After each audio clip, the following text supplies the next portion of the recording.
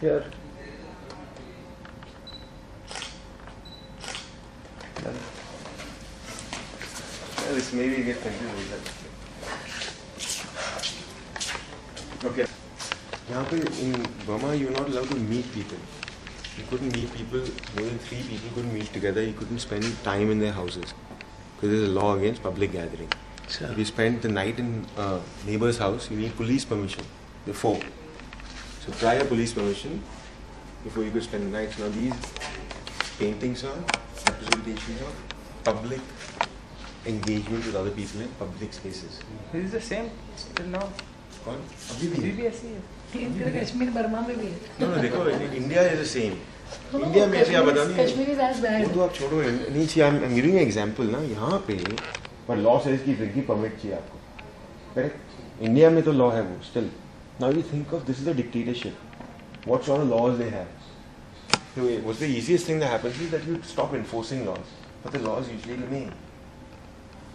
You know, now in India that's the case for a very small thing, which is very flimsy and superficial, which is having alcohol, serving alcohol, you need to have a drinking permit, which is absolutely ridiculous if we all think about it, right? But now you think of the rules they have.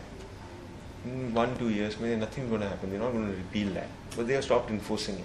But before that, when people were meeting each other and sitting outside, they didn't know who was the informer, who was watching them, who will say something against them, who will follow them home. वो नहीं पता था. So these, you know, these are representations of public interaction. And you look at the faces of the people, you know, they're different hues, different colors, which gives that depth. Who is the informer? Who's being informed? What are they discussing? You know, stuff like that.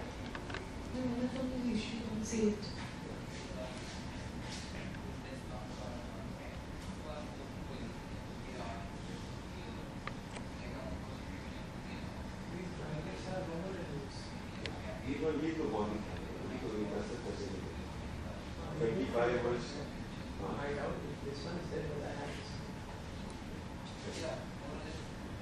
They banned, you know, now they're not there. It's a representation of the art using money.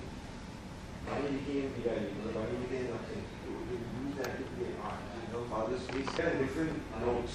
Same face, she's looking slightly a little stronger face there. This is a smile. Artist. When I was there, I was working with him, he said, I have this piece of this school, the evaluation. So it's amazing, amazing sort of stuff that they study from. Justin Jugler work so much. Yeah, she bought these two. The monks. The monks. And the Nichewala.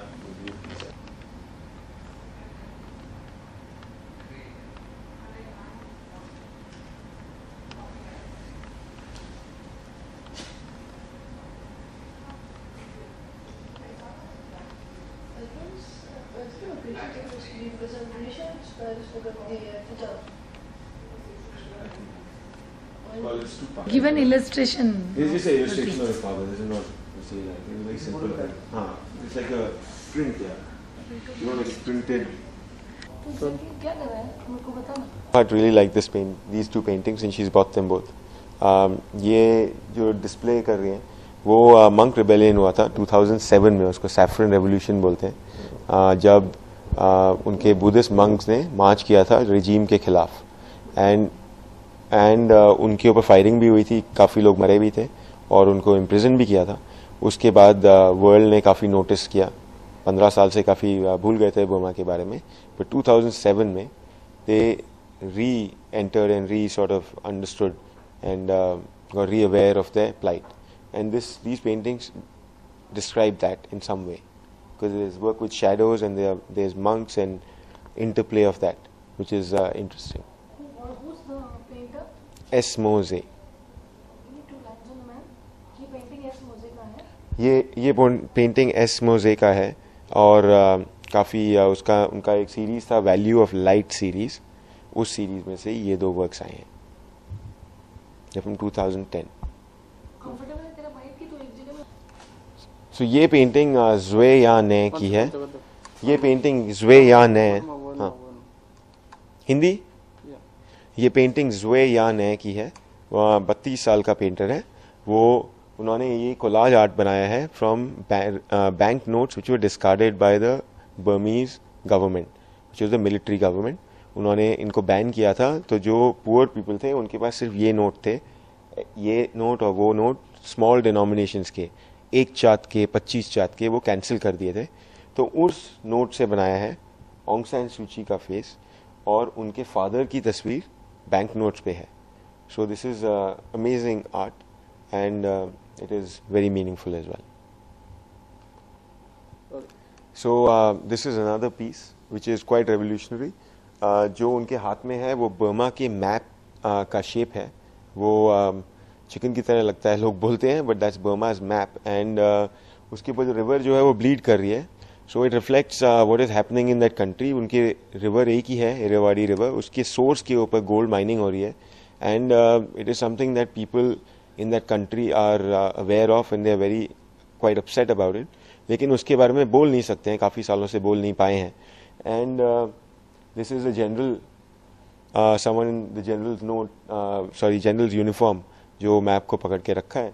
And uh, उनका सिर काफ़ी छोटा है पेट काफ़ी बड़ा है वो आप they are different ways to look it that but this is art which is challenging the regime challenging status quo which did not exist before and it's happening that slowly and slowly so it's meaningful and I am hopeful you all will come and appreciate that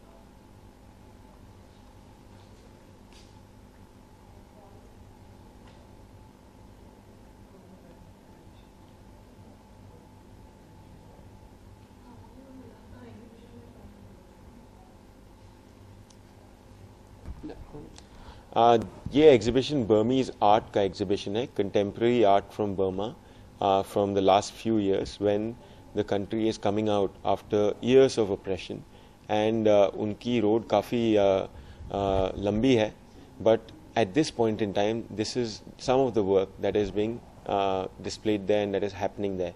Uh, a lot of it challenges uh, the regime and the status quo, and it's a peaceful way of artists to express what they're feeling And uh, उनके दिल में क्या है? और uh, ये exhibition uh, मेरे लिए बहुत अहम है क्योंकि जो मैंने बर्मा में जाके देखा है मैंने बहुत सीखा है अपने बारे में इंडिया के बारे में और उनके बारे में। And it's all the same thing they are learning the way उनकी अभी इंडिपेंडेंस टाइप ओपनिंग हुई है। एंड उनको बहुत अपने प्रॉब्लम सॉल्व करनी है internal ethnic problems before other things happen and they are going about it And uh, among the people who have visited the exhibition, Pooja Bhatt and uh, Bhatt Saab came, uh, and they really liked it. Pooja, in fact, has uh, Burmese blood, as she said. उनके mother side से great grandfather उनके Burmese थे and उनकी काफ़ी interest है उनको तो वो दो पेंटिंग खरीद की भी गई हैं बट मोर देन दैट उनका सपोर्ट बहुत इम्पॉर्टेंट है because when people come here and they see uh, what kind of art is coming out of there and what's the meaning behind the art, it is very heartening uh, for me and it is very uh, encouraging for the artists who are creating this work in Burma. So thank you very much and uh, if you are in town please do come visit. मेरा नाम गौरव यादव है That's it? Yeah, that's